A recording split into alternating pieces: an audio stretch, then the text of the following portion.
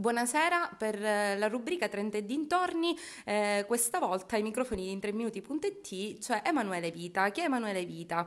È un agronomo specializzato in agroingegneria, eh, titolare dell'azienda Geva, che è un'azienda agricola eh, della nostra provincia eh, che ho voluto diciamo attenzionare per due ragioni la prima è che è rimasta a lavorare nel territorio dando eh, diciamo, risaltando eh, quelle che sono le nostre materie prime, ma soprattutto perché eh, con il cambio generazionale che c'è stato in azienda si, è, si, sono aperte delle porte particolari legate al vostro lavoro che vi hanno fatto diventare pionieri e ora lui ci spiegherà il perché.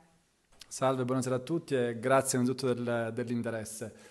Come diceva prima Monica, sono un, un agroingegnere e insieme ai miei fratelli Giuseppe ed Andrea portiamo avanti la società, una, un'azienda agricola, si chiama Geva, appunto dai nostri nomi, Giuseppe, Emanuele, Andrea, Vita.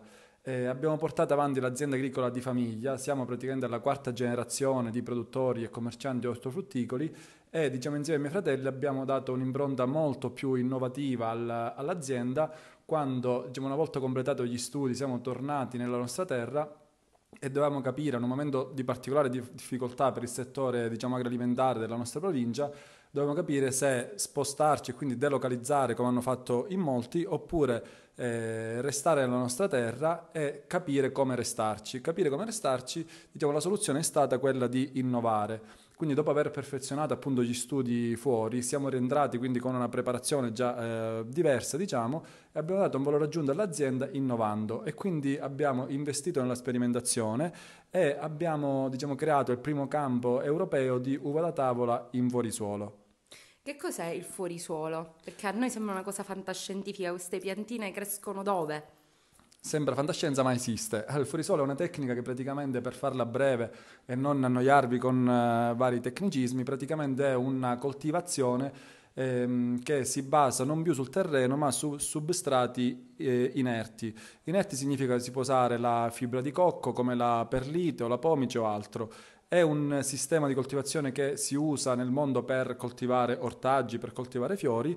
Noi siamo stati i primi appunto in Europa a coltivare eh, in vorisuolo appunto la vite. La coltiviamo nella fibra di cocco che per ehm, fare un esempio semplice è la fibra che si trova all'esterno della noce di cocco classica e noi la utilizziamo per coltivare uva da tavola e tramite un, eh, una serra totalmente automatizzata, praticamente riusciamo a gestire questa serra con i parametri pedoclimatici ideali per la pianta e quindi diciamo, la, la, pianta di vite sta in uno status di benessere totale e costante e questo ci permette praticamente di arrivare primi in Europa con l'uva. Significa che noi riusciamo a iniziare la raccolta dell'uva da tavola a fine maggio, che è un periodo in cui diciamo, i nostri competitors non riescono a diciamo, arrivare in quel periodo, anche nei paesi più caldi eh, quindi come la Tunisia e il Marocco, che in un mercato globalizzato come quello odierno eh, diciamo, sono nostri competitors diretti, diretti in, quel, diciamo, in, quei paesi per il loro stadio di, di conoscenza e di diciamo, preparazione tecnica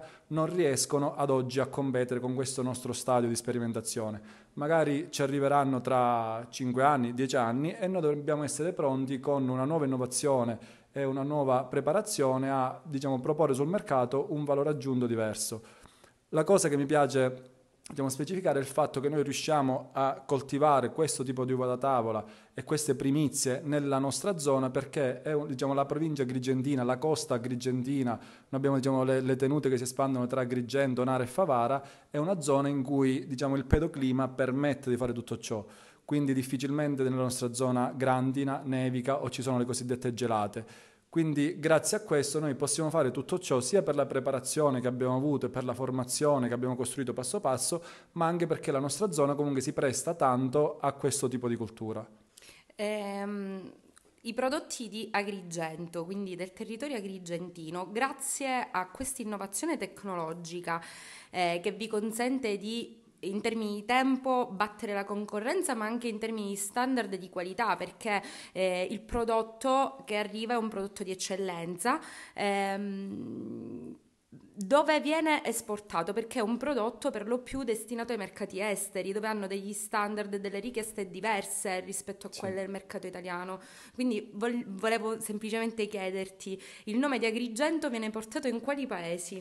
Allora, ormai diciamo un po' in tutto il mondo, nell'ultimo periodo ci siamo specializzati nei mercati arabi, quindi negli Emirati Arabi, eh, stiamo lavorando molto con l'India, ma gli Emirati Arabi per esempio è un mercato che a noi piace tanto perché sono mercati in cui pretendono tanto, pretendono un livello qualitativo molto elevato quindi mantenendo diciamo, elevati eh, i parametri qualitativi organolettici dell'uva riusciamo in questo modo ad arrivare davvero, ormai possiamo dire, in ogni parte del mondo. Abbiamo costruito un, uh, una struttura, un opificio agroindustriale per permettere anche di mantenere elevate queste caratteristiche qualitative e in questo modo riusciamo ormai ad arrivare in tutto il mondo. Ci stiamo specializzando nei mercati arabi, quindi negli Emirati Arabi, stiamo lavorando molto con l'India. Sono diciamo, mercati in cui eh, pretendono delle caratteristiche qualitative molto elevate, ma a noi piace fare questo tipo di lavoro, quindi stando attenti ad ogni dettaglio, dal, diciamo, dal campo fino alla tavola, quindi stando attenti ad ogni parte del processo e quindi ad oggi possiamo dire che l'uva che parte dalla nostra provincia arriva un po' in tutto il mondo.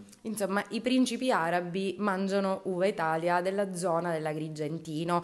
Eh, a questo proposito ti volevo chiedere se dovessi dare una ragione a un giovane che vuole fare lo stesso percorso di studi che hai fatto tu, eh, è un motivo per rimanere qua. Qual è?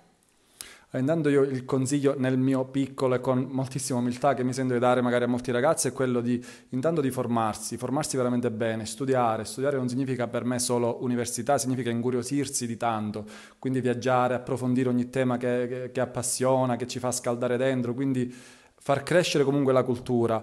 Dopodiché nel nostro terreno, nel nostro territorio, dico terreno per deformazione professionale, fa, c'è, c'è, veramente tanto da fare. Nel mondo agricolo, nel mio mondo per esempio, nostra, diciamo, la nostra zona è un, un paradiso per, per, noi agricoltori, perché comunque riusciamo a coltivare davvero di tutto. Cioè la nostra zona è, diciamo, è predisposta per coltivare molti tipi di prodotti, avere un valore aggiunto e quindi essere precoci rispetto ad altri competitors. Quindi guardare, cambiare per un attimo punto di vista, non guardare più la nostra provincia con tutte le pecche che ha, che sicuramente ci sono, strutturali, di servizi, tutto quello che vogliamo, guardarla un attimo per i valori aggiunti che ha la nostra, la nostra terra e partire da lì.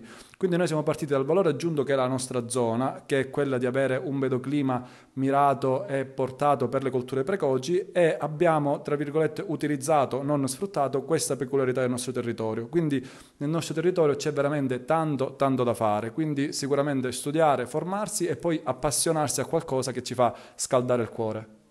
Eh, ringraziamo Emanuele per eh, questa piccola lezione eh, di agroingegneria, diciamo. Eh, io pensavo che il cocco servisse solo per fare cosmetici, invece eh, abbiamo scoperto anche questo suo utilizzo. Tra l'altro è un tipo di eh, coltivazione, di, di, di, procedimento che è attento all'ambiente perché sostanzialmente recuperate materiali di scarto difficilmente smaltibili e in sì. più vi consente di avere anche un'uva eh, con un minore utilizzo di fitofarmaci, quindi anche esatto. un'uva più sana eh, esatto. per certi versi. E, ehm, e, in chiusura vi volevo dire che mi è venuto in mente, sentendo parlare Emanuele, il poeta Franco Arminio che ci chiede di riappropriarci nos- della nostra terra eh, e diciamo non credo che ci possa essere migliore esempio di questi giovani imprenditori favaresi.